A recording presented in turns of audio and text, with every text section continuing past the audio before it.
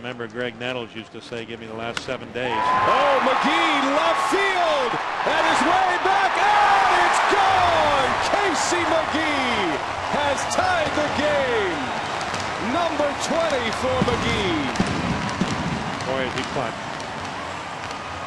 Just like that, the Brewers with some two-out lightning against Wade LeBlanc.